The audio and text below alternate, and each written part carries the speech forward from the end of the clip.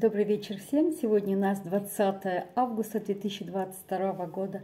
Ну и думаю, надо сказать немножко, недолго, несколько слов, но о том, что у нас тут происходит. Ну, в общем-то, погода у нас такая, знаете, ну, как сказать, не то чтобы жарко, не то чтобы холодно, примерно где-то держится 27 градусов. Вот завтра, послезавтра и последующие дни так и будет у нас. Дождей как не было, так нет ничего, значит, у нас так, знаете, покапало чуть-чуть тут несколько, ну, некоторое время, и, в общем-то, все опять так же сухо, и, в общем-то, так же все как обычно. Вот. Ну, э, Жан-Люк вот сегодня съездил на свои охотничьи угодья, тоже там приготовился. Вообще-то у него сегодня должны был открыться а, сезон охотничий, охотничий сезон, но не открылся. Почему? Потому что, ну, во-первых, нет воды на озере, озеро полностью высохло, кошкой такой, знаете, покрылось. Вот он там какие-то приготовления они с сыном, ну, и с друзьями делали еще что-то. Он в первой половине там побыл, потом вернулся домой. Вот. Ну и, в общем-то, ну, не то чтобы я не сказала, чтобы он сильно расстроился, мне как бы не показалось, что прям расстроен-расстроен, вроде как нормально. И, ну, принимает, как говорится, что делать, вот. А у них так, что если воды нет, то вот эта охота, вот то, что начинается этот сезон охоты и такую охоту, которую он использует, нужно обязательно, чтобы была вода. Если воды нету, значит нет этой, этого, этого вида охоты. Вот. Вот так вот. Ну, поэтому, в общем, вот так у нас все. Ждем дождя. Ну, как бы синоптики у нас вот э, прогнозируют, что до 3 а, вроде как сентября больших дождей не ожидается. Дальше говорю, что я спрашиваю Жан-Люк, он говорит, дальше не знаю. Дальше будем ждать прогноза погоды. Ну, вот так. У нас, знаете, как-то облака такие, тучи ходят над нашим городом. Вот они сегодня целый день ходили над нами, но дождя как не было, так и нет. Вот. Что еще я вам хочу сказать? Ну, что у нас тут так происходит? Ну, ничего такого как бы особого-то и не происходит. Вот. Немножко несколько слов скажу, что, ну, у меня дочка вроде как завтра выезжает уже из России, так в скором времени будет уже здесь, во Франции. Вот, сколько там они, ну, не знаю, через какие страны они летят, пока ничего не знаю. Потом все спрошу, все узнаю. Вот. Ну, вечером завтра, в общем-то, покидает уже, ну, свой город. Ураль, наш уральский город. Вот так. Это у меня такая, ну, хорошая новость. То есть я своих внуков тоже увижу. Ну, немножко с ними побуду здесь тоже как бы перед школой, потому что 1 сентября, как у всех э, во Франции, вчера еще специально календарь открыла, школьный календарь, и написано, что по школьному календарю в этом году школа начинается у всех-всех-всех 1 сентября, хотя у нас бывает по-разному здесь, но это вот так. Вот. Это вот такие у нас как бы тут, ну, небольшие новости. Завтра мы идем с Жан-Люком на а, пикник. Решили сделать. Я говорю, давай, Жан-Люк, пойдем с тобой на пикник. Ну, что, говорю, дома будем сидеть. Надо нам с тобой куда-нибудь выезжать, говорю, постелим плед, ну и лягем даже отдохнуть после, допустим, по, покушаем и потом ля, ляжем спать. Вот так. Ну, не спать, а я почитаю, книжку возьму так полежать. А он э, может и уснет, потому что он взял в привычку уже сейчас отдыхать днем. Вот. Это потому что устает как-то. Вы знаете, мы как-то устаем, не знаю почему, может быть, это вот из жары, из-за жары было такое, что у нас какая-то усталость, знаете, такая вот. Я вообще стала уставать сильно. Ну вот сегодня, видите, по совету там, вы мне кто-то посоветовали, и дочь моя посоветовала, сходила я в аптеку и купила я вот эти вот ну, микроэлементы и витамины.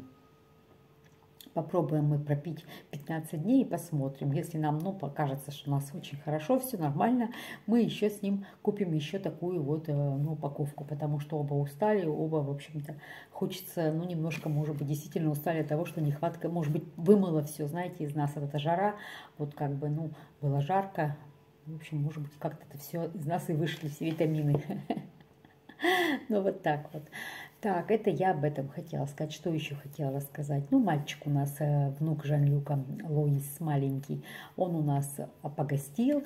Все прошло очень хорошо, все великолепно прошло. Мальчик неплохой, хороший, то есть никому он не надоедал, все было, общем, хорошо. Ну, единственное, что я хочу сказать – Я как бы это, по-моему, уже там где-то видео и говорила, что, конечно, ребенку, маленькому ребенку, он занять себя не может. Хотя до этого его папа говорил, что он сам себя хорошо занимает. Нет, он сам себя занять не может. Нужно, чтобы... Ему хочется, он все время так смотрит, такими своими глазками, ему хочется, чтобы с ним кто-то занимался. Ну, то есть какое-то время он немножечко вроде как занимается, а потом ему нужно обязательно, чтобы с ним, ну, что-то как бы, как это сказать, э, чтобы на него обращали внимание. Вот. Ну, и, естественно, своего дедушка Жан-Люк, он быстренько оп, в гараж убежал, там закрылся, что-то делает. Делал все время. У меня нужно было готовить. Я постирала его вещи, кое-что там подзашила у него, посмотрела, там у него порвалась, ну, футболочка, мне пришлось подзашить. Вот, то есть у меня такие дела были, надо было и готовить, и на стол накрыть, ну и, в общем-то, особо с ним заниматься у меня времени не было. Поэтому я а, пошла туда вместе с ребенком в гараж и пригласила дедушку заняться ребенком. Говорю, знаешь что, говорит, это не дело. Раз ребеночек здесь маленький, ему хочется с тобой пообщаться, что он, говорю, сидит один сам собой, вот сам с собой разговаривает, что-то видно, вижу, что глазки грустные. Ну, естественно, выманила я этого дедушку и, в общем-то, он с ним и занимался. И спать ему тоже не разрешала днем, потому что мальчик так расстроился, говорит, а я не хочу спать. Ну, понятное дело, что ребенку, что он спать пришел сюда. Ну, поворот, Воронлюк поворочился, поворочился. Я говорю, ты включи какую-нибудь, может быть, передачу посмотреть вам вместе. Ну, ты, может, говорю, стремнешь, а он-то посмотрит. Но только найдите что-то интересное для вас. Ну, в общем, вот так, такими вот мы всякими, как говорится, его и развлекали. То есть, ну, насколько мне показалось, ему было хорошо. Ну, естественно, что он потом заскучал, а захотелось ему к папе. Мы это увидели, почувствовали. Прямо вечером, вот первый, ну, в первый день, да, он, когда уже у нас как бы день закончился, и он попросился позвонить и поговорить с папой. То есть, ему рассказывал, что он делал, прямо так захлеб ему рассказывал. Ребенок – это все-таки ребенок, и ему нужны родители. Это тоже верно. Вот. Что еще хотела сказать по поводу, наверное, его, а, ну, папы. Ну, папа тоже, когда пришел, тут пытался мне, знаете, ну, начина, начал мне какие-то там, ну, как бы, какие-то условия, как нужно его. Я ему сразу сказала, я говорю, знаешь что, ты мне скажи общие какие-то рекомендации, там, что, ну, о ребенке, потому что каждый ребенок, он ведь не одинаковый. А, а такие вот рекомендации, сколько кормить, сколько чего давать, я говорю, я сама знаю. Вот только единственное скажу, что он любит, что он не любит. А остальное, говорю, я справлюсь. Я, у меня были дети, у меня есть дети, уже, что, чем накормить ребенка, то есть я знаю. Лишь бы только не дать то, что он не любит. Ну и все, и мы как бы на этом порешили. Он говорит, ну да, я понял. Я говорю, не надо меня учить, что там, куда, во сколько ложить, чего помыть. Это, говорю, я сама все знаю. Вот. Ну и, в общем-то, ну вечером дедушка его мыл. Вот. Я заставила дедушку купать ребенка. Потому что, ну, все равно грязненький такой, ну, побегал, запачкался. Ну вот так, это вот я про это вам хотела рассказать. Что, знаете, еще так подметила, лично такие мои вот, ну, наблюдения. Вы знаете, я вам единственное могу сказать, вот часто слышу, что, ну, говорят, что в Европе мужчины, они очень-очень такие, знаете, заботливые, они очень такие, ну, о своих детях как бы, ну, смотрят. А, я тут по-другому могу вам сказать. Просто законы во Франции не такие, в частности во Франции, не такие, как, допустим, ну, у меня в России. Здесь закон такой, что мама и папа, они на равных, то есть занимаются ребенком. И папа хочет он или не хочет, он все равно будет делать то, что делает мама. Вот так вот. И поэтому, если бы, если бы были законы такие же, как у нас в России, допустим. У нас как-то по, послабже это все, знаете, с папиной стороны. Папы как-то ну, особо могут и не заниматься. Не все, конечно, но есть такие, вот, которые, ну, неохота вроде или еще там что-то. Вот. И если бы здесь были такие же законы, их, их папы были бы такие же, как наши. То есть мужчины, они всегда мужчины. Это я уже подметила. То есть сплавить ребенка они с, с удовольствием куда-нибудь исплавят. Потому как, а, знаете, вот прошел у нас, ну, как мы договорились, договорились, что а, в пятницу мы ребенка привезем. То есть это получается, он привез нам а, в среду. Они тут пробыли у нас – Э, вечером ушли. Четверг ребенок был у нас полностью, мы гуляли и занимались им. И в пятницу мы договорились, что мы увезем его домой. Почему договорились? Потому что мы поехали покупать мидии. Вечером уже поехали покупать мидии.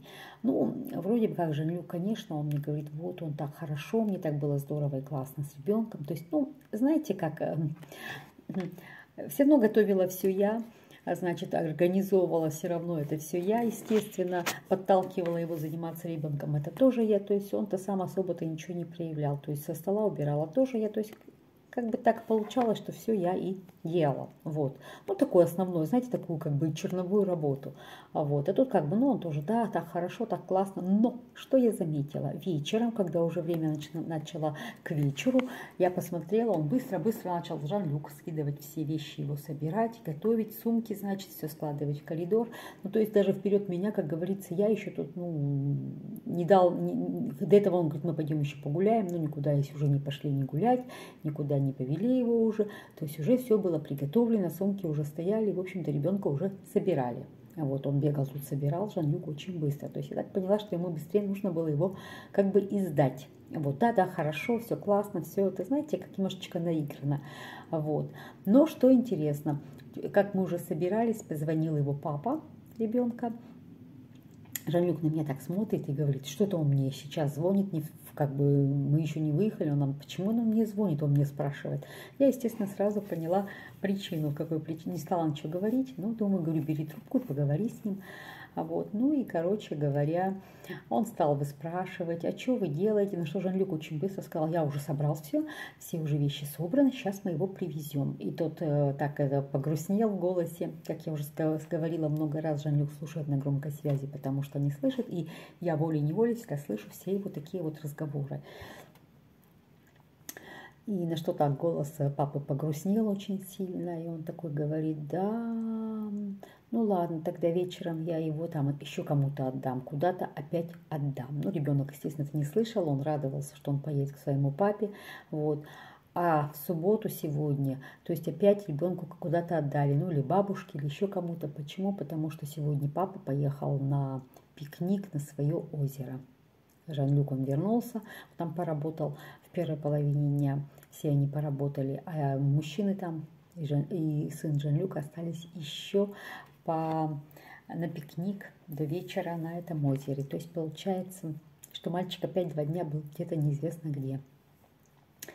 Я единственное, что сказала Жан-Люку, говорю, ты знаешь, Жан-Люк, мне очень грустно за мальчика. Почему? Он говорит, мне тоже. Я говорю, понимаешь, грустно мне потому, что, ну, во-первых, он неделю живет без него, мальчик живет с мамой. Вторую неделю он, эм, свою неделю он его отдает. Вот сейчас вот он э, какое-то время нам отдал, потом он еще кому-то, потом третьим рукам отдал. То есть получается, что он с ним совсем и не занимается. И мальчик получается один. И как я уже сказала, он часто разговаривал с Райко. Мальчика говорил, Райка, займи себя сам. То есть получается, что вот так он сам себя и занимает. Вот. Когда мы его привезли, он побежал в свою комнату, тоже вот я посмотрела, ну вижу, у него вещи не распаковывают, значит его опять куда-то отдадут. В общем-то грустно, грустно. История такая, знаете. Ну, Жан-Люк стал мне говорить, надо его почаще забирать. Я говорю, зачем? почаще забирать. Да, иногда можно, но говорю, зачем? А, ведь папа же должен им заниматься. Получается, что будет заниматься или другая сторона, то есть мама, а он вообще делать ничего и не будет. Ну, вроде как э, Получается, он будет охотой заниматься, своим удовольствием заниматься, а ребенок будет сам по себе. То есть мы-то, говорю, все не, не можем дать то воспитание, которое даст отец. Нет, говорю, так делать нельзя. Да, иногда можно, но все время говорю, я считаю, это неправильно. Вот, ты представляешь, говорю, если мы будем его все время брать это не совсем норм, нормально. Причем папа тоже уже в последний момент сказал, вот следующую неделю он будет у а, своей мамы, а вот потом я его вам отдам на несколько дней, там, до школы еще. А мне, говорит, все равно, если хотите, его забирайте. То есть вот так. Но у меня там как раз мои будут внуки. Вот, следующую неделю там у меня получается, ко мне внуки приедут. То есть, ну, трое детей, все-таки мне будет тяжеловато. Ну, посмотрим. В общем, не знаю, как это все пройдет. Хотя Жан-Люк говорит, ну давай возьмем, и я буду за ним вроде как смотреть и ухаживать. Но вы знаете, смотрит он и ухаживает не очень-то и сильно. То есть, если я его не, как говорится, не а, толкаю к тому, чтобы ухаживали, он этим и не занимается. То есть, вот знаете, в общем, что я хочу сказать, что мужчины, в принципе, они мужчины. Вот. И когда говорят, что такие хорошие во Франции мужчины, что они детьми занимаются, занимаются, потому что, ну, знаете, как их закон обязывает. Вот. Конечно, они любят своих детей, конечно, он тоже любит своего ребенка. Естественно, он чистенький у него, он у него накормленный, как бы все это. Но, знаете, тоже накормленный. Они ходят часто в рестораны. Он так много рассказывал, мальчик, что часто ходят а, в Макдональдс Вот они его кормят, он его там кормит. Ну, то есть такая нездоровая, на мой взгляд, пища. Пища, видимо, много что-то не готовит, потому что я здесь и рыбу тушила, знаете, для него. Он с удовольствием покушал рыбу. Вы знаете, пожарила, захотелось мне пожарить свежую картошку. Я пожарила, он говорит, Марина, ты настоящий, как он мне сказал, повар. Он мне сказал, ему так моя картошка понравилась. Знаете, такая простая, обычная картошка, какую мы жарим. Вот, ну я не сильно ее поджарила, так это чуть-чуть, знаете. Ну, такая симпатичная получилась, свеженькая и вкусная. Вот он тоже все съел с удовольствием. Вот так вот. То есть вот так у нас вот тут прошло все. Вот. Причем и бабушки-то особо, видно, и не готовят. Мы тоже спрашивали. А он тоже как-то так говорит, видимо. Ну, видимо, очень много никто ничего не готовит. Кто что-то дадут, то бутерброд дадут, то еще что-нибудь. Ну, в общем-то, ничего такого-то и, как говорится, полезного и не дают. Вот. А еще, видимо, так поняла, что бывшая жена Жильюка, она сидит с ребенком только у них дома, то есть дома у своего сына. И когда сына возвращается с работы, она возвращается в свой дом. Так вот, видимо, у них на этой почве что-то где-то тут и вот произошла ссора, потому как я так поняла, что этому сыну нужно, чтобы квартира была пустая, вроде как отдать или нам, или вот сейчас своей маме, и он-то вроде там бы и развлекался в своем удовольствии. А тут получается, что мама-то уходит, он работу закончил, мама уходит, а он с ребенком остается. На самом деле она делает все правильно. И, видимо, вот на этой почве вот это у них тут как бы ну и стали происходить какие-то трения. Вот так вот. Вот что уж там у них, как это, ну знаете, как бы у меня хочет, мне бы хотелось отдельный такой рассказ рассказать об этой женщине. Она заслуживает того, чтобы о ней рассказали. Такая женщина очень интересная, на мой взгляд. Вот, как я уже говорила, она там у меня на видео есть. Немножко вскользь такая, так как бы проплывает там. А вот. Ну, хочется немножечко тоже очень несколько хороших слов про нее сказать, о том, что, что какая и, в общем-то, как у нее. Ну, мое личное впечатление, мое личное наблюдение. Вот, критиковать, конечно, я э, ее бы не могла и не хотела, потому что женщина, она, на мой взгляд, очень даже неплохая. Вот так. Но это, наверное, следующий рассказ, потому что я уже много опять наговорила. Хотя, опять же, себе сказала, говорю, ну, не рассказывай как бы много. Ну, что еще хотела сказать? Знаете, тут еще как бы несколько дней, туда, два, два дня, наверное, ничего вам не рассказывала, не разговаривала с вами, как говорится, не рассказывала, что у нас происходит. А у нас тут, знаете, такие кипели, как говорится, страсти. Вот. У нас тут была такая, ну, в общем-то, как сериал целый произошел, тут целая история. Ну, пока я еще это рассказывать не готова, не знаю, нужно это или не нужно, рассказывать это или не рассказывать. Это такое, знаете, у нас тут произошло, в общем-то, как говорится, между мной и Жан-Люком. Но это, естественно, не из-за мальчика, потому как мальчик это отдельная история. Ну, это как бы ничего страшного, все прошло очень хорошо. А у нас вот свое между нами, как говорится. Вот, знаете, как говорится, у меня характер такой, ну, вроде, вроде как нормальный, спокойный, но иногда у меня, знаете, бывает тоже, мне нужен выпустить пар, вот так.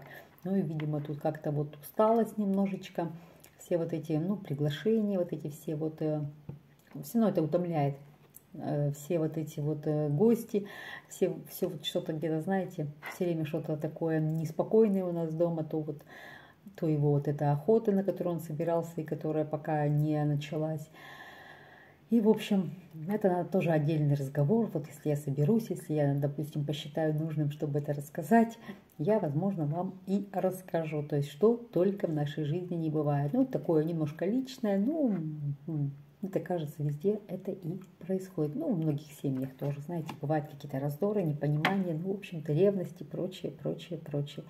То есть, ну, подумаю я следующий раз, может быть, завтра вам что-нибудь расскажу, потому как надо успеть вам все рассказать тут, что у нас делается. Потом дети у меня, ну, внуки приедут, там мне уже опять будет не до рассказов, потому что, знаете, когда дети, я не могу сосредоточиться. Они меня, как бы, знаете, из мысли, они начинают меня слушать, даже мальчик он меня слушает, как я иногда ну, по телефону с мамой тут разговаривала со своей по-русски. Он, знаете, так слушает, смотрит, и я как бы тоже не могу уже на себе сосредоточиться. Вот, я на него смотрю, он на меня смотрит, в общем. Вообще, знаете, хороший мальчик, такой добрый, добрый мальчик, очень так по-доброму. Еще даже, знаете, заметила, что если с ребенком разговаривать спокойно и не кричать, он тоже не кричит. То есть надо вот как бы, ну, все равно. Воспитание, воспитывать надо воспитывать. Детей надо тоже воспитывать. Вот. А если он, конечно, сам по себе, он и будет такой сам по себе. Вот. А так, конечно, очень отзывчивый, хороший мальчик, э, как бы, ну, надо только ему иногда, ну, иногда сказать, что вот это и так вот нельзя, это вот так. И он все это очень хорошо и быстро понимает. Ну, ладно, на этом я буду заканчивать такое видео о французском ребенке, мальчике, которого зовут Луис. Вот. Пока-пока. Спасибо за внимание. Всех вас люблю, целую, обнимаю. Ну и до следующего видео. Завтра, может быть, с пикника, ну, чуть-чуть что-нибудь и сниму. Правда, это будет опять же лес Мирван. Говорят, кстати, он весь высох, нам сегодня сказали. Посмотрим завтра.